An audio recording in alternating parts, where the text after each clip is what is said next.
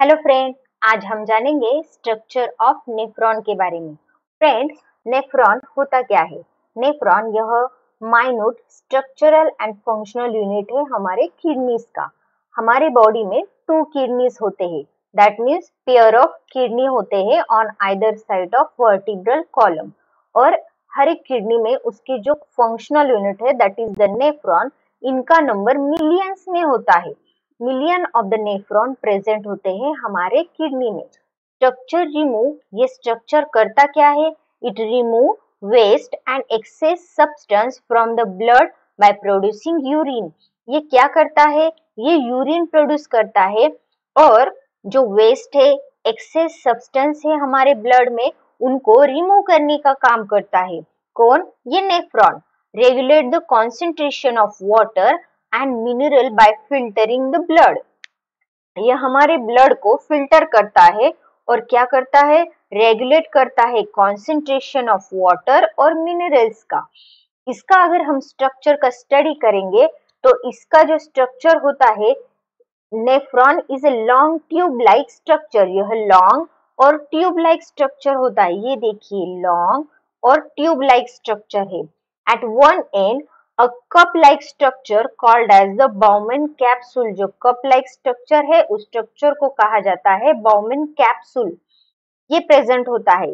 This capsule enclose a cluster of blood vessel इसमें क्या होता है? Cluster of blood vessels present होते हैं, जिन्हें हम ग्लोमेरुलस कहते हैं।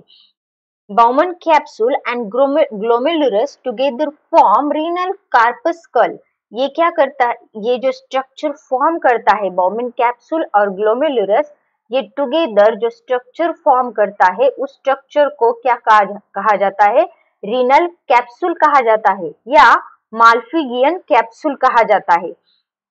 रीनल टिब्यूल आर इन्वॉल्व यहाँ से आगे का रीनल कैप्सूल छोड़ के आगे का जो स्ट्रक्चर होता है उस स्ट्रक्चर को क्या कहा जाता है?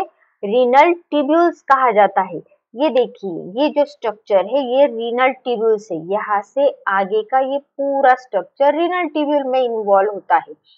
ये जो स्ट्रक्चर होता है it involve in reabsorption without affecting the electrolyte balance ये रीएब्सॉर्प्शन में यूज़ होता है मतलब जो भी ब्लड यहाँ से पास हो रहा है, जो यूरिन पास हो रहा है, उसमें जो जो नेसेसरी सब्सटेंस है उनका रीएब्सॉर्प्शन करने के लिए ये रीनल टिब्यूल्स यूज़ होते हैं।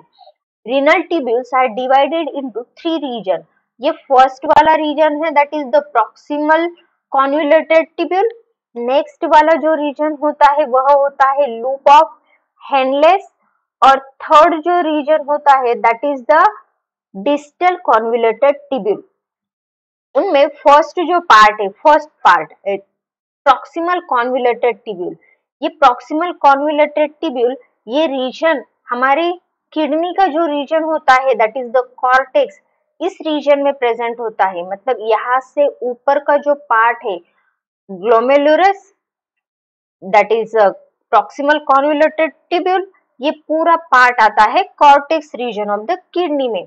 ये क्या करता है? ये मेंटेन करता है maintain electrolyte and acid base balance of the body fluid हमारे बॉडी फ्लूइड का एसिड बेस बैलेंस और इलेक्ट्रोलाइट का बैलेंस मेंटेन करने का काम प्रॉक्सिमल कॉन्वुलेटेड टिब्यूल करता है। देन नेक्स्ट पार्ट है that is the second part loop of Henle ये जो पार्ट होता है, ये यू शेप स्ट्रक्चर में होता है और ये पार्ट आउटर मेडुला रीजन में आता है। कहा आता है? आउटर मेडुला रीजन में।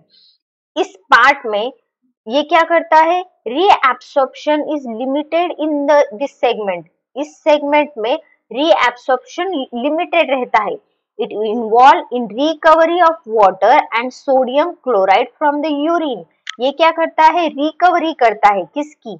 सोडियम क्लोराइड की और वाटर जो यूरिन से पास हो रहा है, उस वाटर का रिकवरी करने का काम ये पार्ट करता है loop of Henle then third जो रीजन है that is the distal distal मतलब ऊपर की ओर जा रहा है।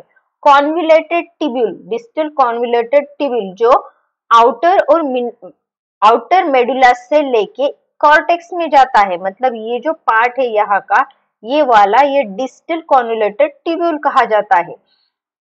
ये जो पार्ट होता है it maintain pH and sodium potassium level in blood cell हमारे ब्लड सेल की सोडियम पोटेशियम लेवल मेंटेन करने का काम डिस्टल कॉन्युलेटेड पार्ट करता है और इतना सब रीएब्सॉर्प्शन और मेंटेनेंस के बाद जो वेस्ट बच जाता है, उसे हम यूरिन कहते हैं, जो कलेक्ट किया जाता है कलेक्टिंग डक्ट में। मतलब ये जो लास्ट वाला पार्ट है, ये पार्ट होता है कलेक्टिंग डक्ट का। ये रहा कलेक्टिंग डक्ट जिसे हम कलेक्टिंग टिब्यूल्स कहते हैं। और ये जो ग्लोमेरुलस का पार्ट है, इस पार्ट में बहुत सारे वेंस कैपिलरीज आ रहे हैं, जिसमें ब्लड लेकर के आती है एफ्रंट आर्टेरियोल और यहाँ से रिटर्न जाने वाला जो ब्लड होता है, वो जाता है इफ्रंट आर्टेरियोल से।